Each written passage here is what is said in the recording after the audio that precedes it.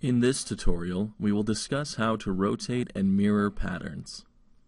To rotate a pattern, first make sure you select the correct pattern using Edit, Next. Once the correct pattern is selected, go to Edit, Rotate. You can see that there are three options. 90 degrees CW will turn the pattern 90 degrees clockwise. This, of course, means that 90 degrees CCW will turn the pattern 90 degrees counterclockwise.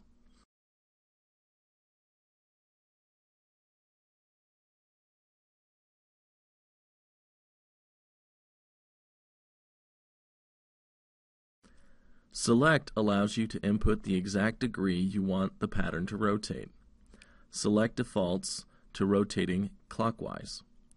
Check the box labeled CCW if you want to turn the pattern counterclockwise.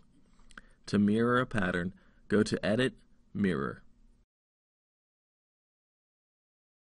Horizontal will mirror the image across a horizontal axis. Similarly, vertical will mirror the pattern across a vertical axis. In the next tutorial, we will cover how to duplicate patterns.